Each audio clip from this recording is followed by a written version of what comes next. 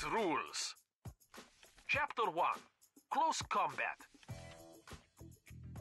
Here are some basic rules you have to keep in mind when you have to confront a monster during close combat.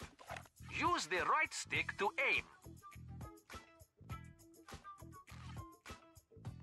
You still can move while aiming.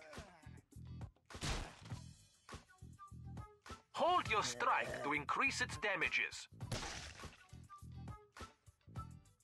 Press the A button when kill appears above a hurt monster to make an instant kill.